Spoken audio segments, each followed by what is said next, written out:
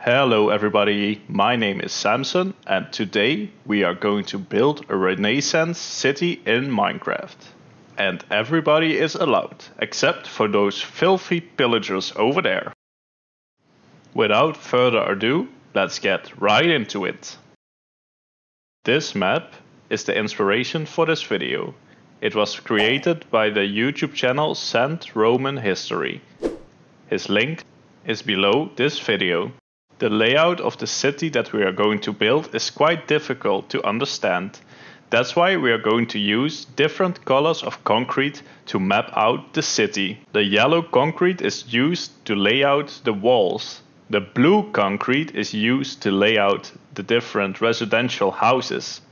The light blue concrete is used to map out specific and more important buildings while the orange concrete is more of a measurement tool for myself. And last but not least, the light green concrete is used for main roads, while the dark green concrete is used for side roads. Oh, and I almost forgot.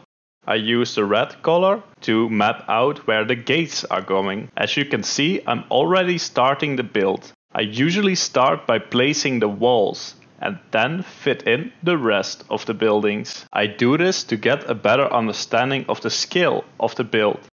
But I have talked for quite some time now, so let's sit back and relax and I will put on some music and start the building.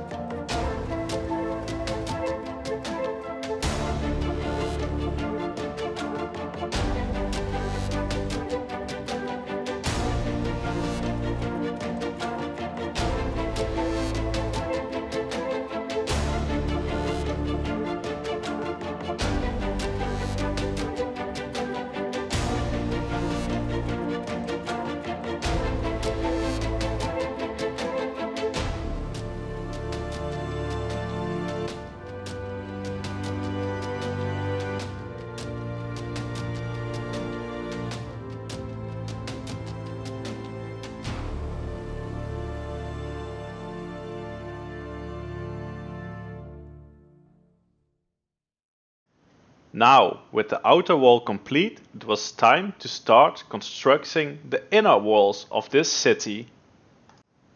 I wanted to create two similar kinds of walls to surround the city and two thick layers of defense. That, combined with the water, would make the city impenetrable. It took about 4 hours to create these walls with some time beforehand to think of what I was actually going to build. Now, with the outer layer of the inner wall, that's a mouthful, almost complete, you can really start to see the shape of the city. Of course, we still need to add some thickness to this wall, because a wall that is only one block thick doesn't offer much protection. Let's put on some music and let's get to it.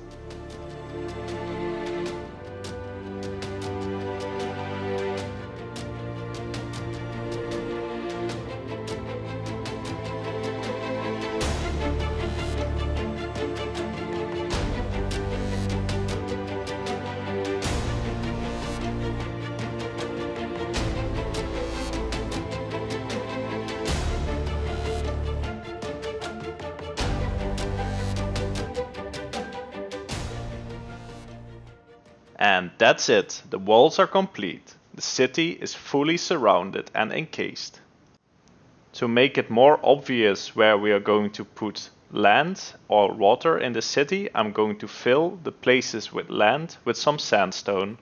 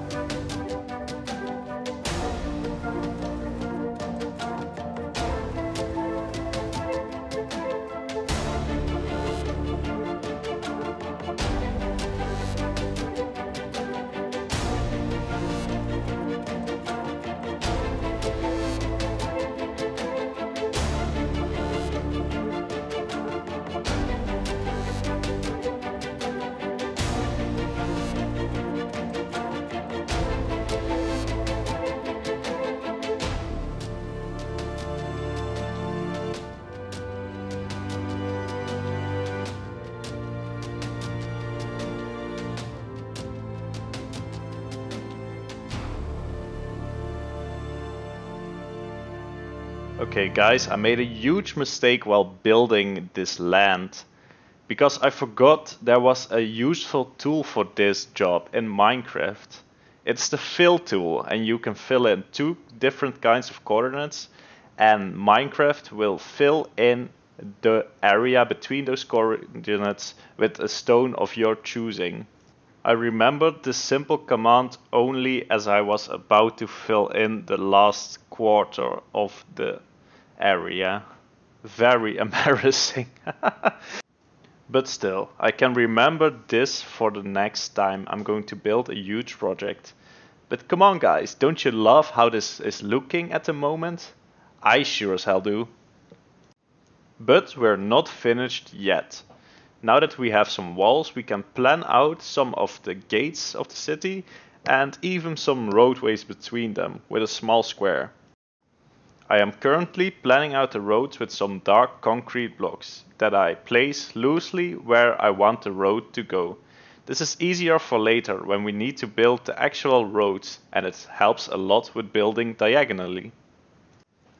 As you can see I also added a new wall. This is to separate the poor district from the richer districts. Now it's time to fill in some of the main roads you can see I marked these out with some light green concrete. As for the material used for the road, I'm using the path block, because I really like how it looks. Of course we are going to detail the roads in a later stage, but now we are just laying out the thickness to get a better understanding of where we can place houses. And it's already time to build the last road. This is the road that's in between the poor district and the rich district. Now, with all the main roads complete, we can start to add in some houses. I really like houses that have odd shapes and are placed at odd angles. Not just the blocky regular square houses, no.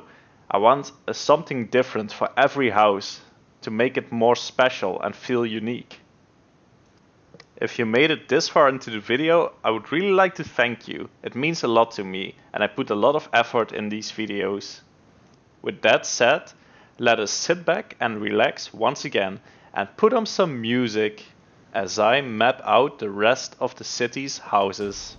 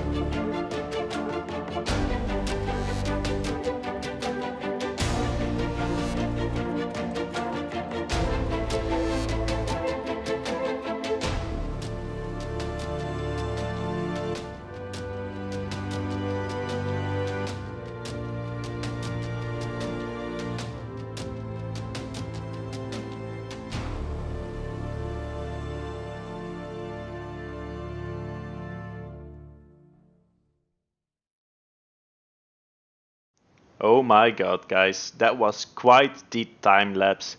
It took about 10 hours to build this whole city. Or, well, it's not even finished yet, we only did the planning out phase. But I want to try to finish the city in the next episode, or at least a great portion of it. I hope the video gave you some insight in how I plan out a big build.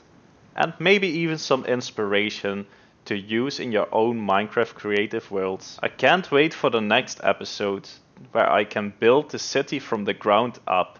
I hope to see you there again. I am really thankful if you made it this far into the video. I love you guys, you're amazing, and keep safe in these hard times. This is Samson, and I'm signing off.